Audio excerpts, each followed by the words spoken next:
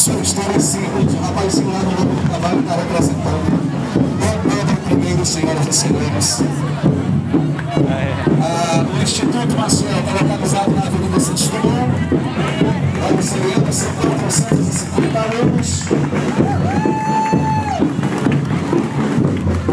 Equipe gestora Alexandre Maciel e Silva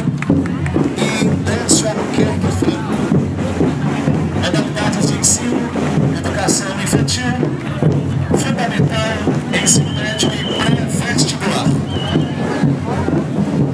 Turnos de funcionamento matutino e vespertino. Projetos desenvolvidos. Blitz da leitura, baú de memórias, café literário, pasta da leitura, meu diário, minha escola, lê e produz. Jogos matemáticos, horta sustentável, matemática,